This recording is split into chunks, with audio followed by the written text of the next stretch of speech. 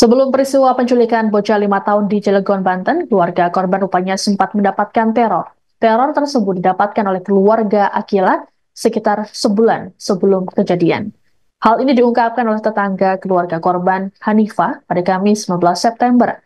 Hanifah mengatakan ibu Akila, Amelia, sempat bercerita mendapatkan teror via WhatsApp. Pelaku mengancam akan menculik Akila dan melukai orang tuanya. Dikatakan oleh Hanifah, pesan ancaman tersebut dikirim oleh seorang pelanggan Amelia melalui perantara orang lain. Pasalnya, saat terduga pelaku dicecar, ia tak mengaku. Sebagai informasi, Amelia memiliki usaha kredit barang dan sempat melakukan penagihan. Amelia juga mengaku tak memiliki masalah lain selain hal tersebut. Menurut Hanifah, masalah teror dan ancaman sudah dilaporkan keluarga korban ke polisi Meski sudah menyampaikan bukti, namun belum ada tanggapan dari kepolisian.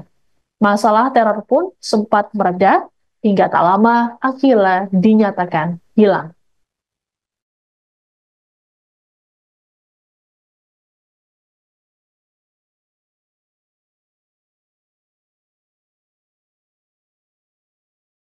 Download Tribun X sekarang, menghadirkan lokal menjadi Indonesia.